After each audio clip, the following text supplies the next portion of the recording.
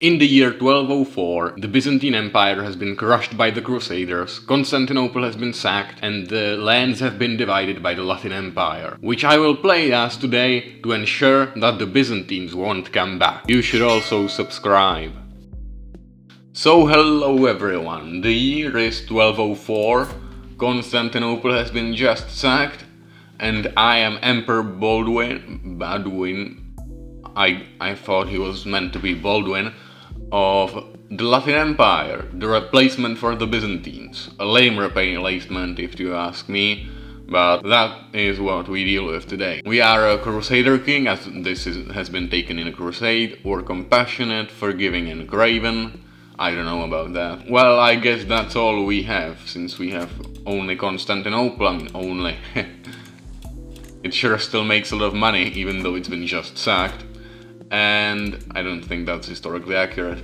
And we have some holdings around Greece, so we also have here many contenders and the Romanian struggle, again for the, you know, Roman Empire. We have here the Bulgarian Tsar, the Roman Slayer. Yeah, he, actually, I think, historically defeated the Latin Empire. And we have Nicaea, which will restore the Byzantines historically.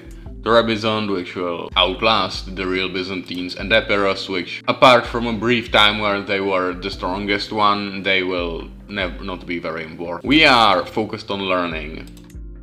That I think we can do, and I have this right pro. I actually like, but I think I'm gonna go for sanctioned loopholes. I claims, I think, on... I mean, I do seem to have a lot of claims I can get. Also, I can ask the Pope for some money. I mean, 600 is good, but I'm gonna take it.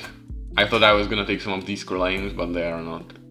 None of them are good for me right now. Also, I can also become the King of Thessalonica, which I'll do. Also, Dynasty Legacy, I think I'm gonna go House of Warriors you know, going down the warfare tree, war crusaders. Now let's actually start. I'm gonna sway my vassal here, Bonifacio. He's... Historically he would fight against the emperor. So I need to sway him. It seems like yeah, is paying me not to attack them. And I'm gonna buy for it Armored Horsemen. Also our vassal Bonifacio is conquering lands in Greece, which I very much like. You know what, I'm not gonna make myself my own religion, I'm gonna reset the perks so I can get to sanctioned loopholes quickly as I'll need those claims. And I seem to have found, uh, seems I have found a good target for our next conquest. The Duke of Achaea, I'm gonna conquer. I mean, I do need all of this land in Greece for my war and to, you know, restore the Byzantines. I mean, not restore, replace. I mean, this is an easy war. Oh, I became a witch. yeah, yeah. The emperor of the new Christian, I mean Catholic Byzantine Empire has become a witch. Also, I have the ecumenical patriarch of Orthodoxy on my council. That's pretty funny. I can marry off my daughter the, the, the son of the king of Sweden and I can get an alliance with Sweden. That's good since I'm, I'm gonna need it a lot. Finally I can divorce my wife and I'm gonna marry someone either for an alliance or... I mean alliance is good here. France is a strong alliance, I'm gonna take it. Instead I'm gonna get my son, someone who has good traits. Seems good. Intelligent and an alliance to some random duchy. Oh, I can also become the king of Hellas and get some more duchies. Oh, my alliance with Sweden is gone. The guy died for some reason. But I could get an, an alliance with Galicia Volhynia. Or if I don't go for trains, I can get only Galicia Volhynia, so I'll take that. Okay, I believe the target here is gonna be Epirus first. Since he's the weakest one and he's in Greece, which is the land I wanna conquer first. So first the Duchy of Epirus. And now let's go conquer him. I mean, he's trying to besiege Achaea, but he stands no chance against me. 15 men survived, of course.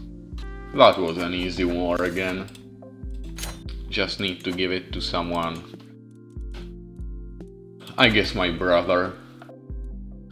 I would like to take on Bulgaria, but he is an ally to Khazaria.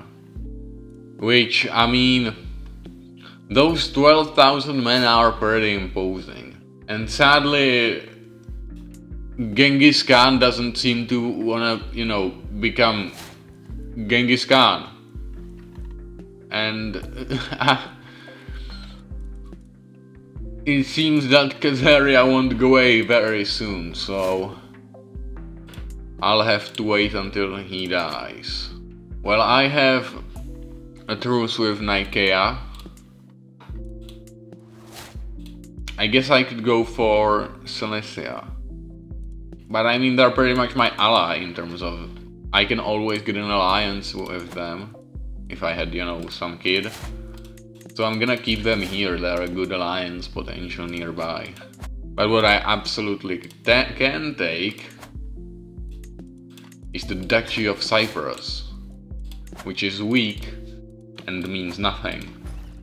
Oh, someone has gotten rid of my of my truce with Nicaea. Well, I'll guess I'll, guess I'll do the war with them.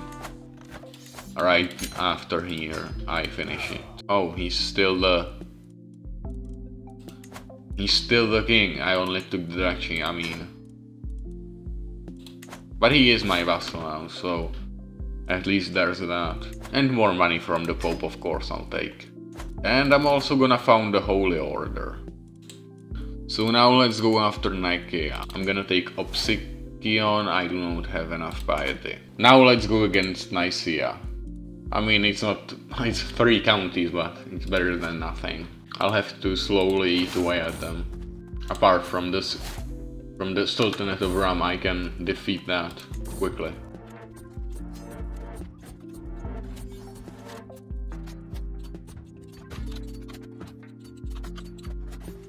Damn, these Latins, they are tricky. They've besieged my island.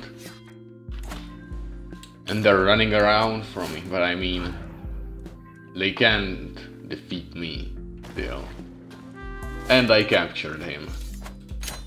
That's Opsikion mine, and I'll keep those counties, thank you very much. These two are trying to rebel from me, despite the fact that they like me. Both of them like me and they still wanna be independent. Oh, I guess, I mean, I guess we're rivals, so...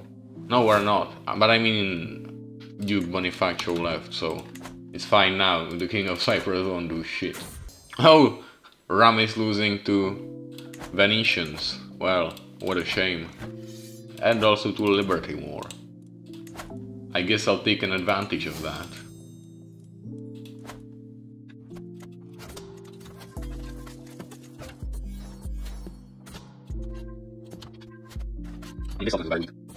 Which is not really a rep good representation of it in reality. Jesus Christ, my son is gonna be so shit. He's sadistic and, well, craven, shy, or paranoid. I mean, just go paranoid when you're going. I'm gonna make him go intrigue. I guess that's gonna help, I think. Well, that's Rum and the kingdom of Anatolia. Oh, and someone is attacking for it. I guess I'll deal with them first. And another son, I don't need this many sons. I mean, what's my succession? High partition, okay. I mean, that's a good succession type, if you ask me. It's definitely better than any other succession, in, you know, of the partition type. Why so many people attacking me for this fucking county? I'm gonna go besiege them, I don't care about attrition. Oh, and I can... well, that was quick! I can establish the Latin dominance. Through retaking Constantinople, our realm has proven itself to be true and indisputable empire of the Romans. I get some renown, and all Byzantine de jure land becomes the Latin Empire. And the Romanian struggle, I guess. That's all. There wasn't even a, some pop-up about it. That's pretty lame if you ask me. Also, I lost this war. I have new available dynasty legacies and a lot of renown. So that's something. Plus I need to give away all these titles. I mean, I didn't expect this to go so well. Also, what the fuck? I guess the Ayyubids were supposed to be here. I mean, they still are here, but those aren't the real Ayyubids that are there's a load of Ayyubids. There are only Ayyubids. What happened to it's between Alexandria, Palestine, and well, uh, this Ayyubid Sultanate. Also, there are the Abbasids who are making a comeback right now. But I mean, that's it then. I did what I came to do. Nicaea and all of them are defeated. I mean, I could, I could go see some of these duchies, you know. I mean, and there are crusades. Still, that could be... There could be done something with that. But I mean, what's the point? I did what I came to do. The Byzantines won't come back, and there's a new power in their place, which is clearly more powerful than anyone around them. Apart from the fucking Bulgarians who are protected by the fucking Khazars. Ah, OP these hordes are, really. 20,000 men, that makes no sense. Their development is shit. Really shit. I mean, Constantinople is shit too in terms of development. Fucking Lydia has more development than Constantinople. I mean, I guess that's what happens when you sack it. But, yeah, I mean, I could do some crusades or something. But I, like I said, what's the point?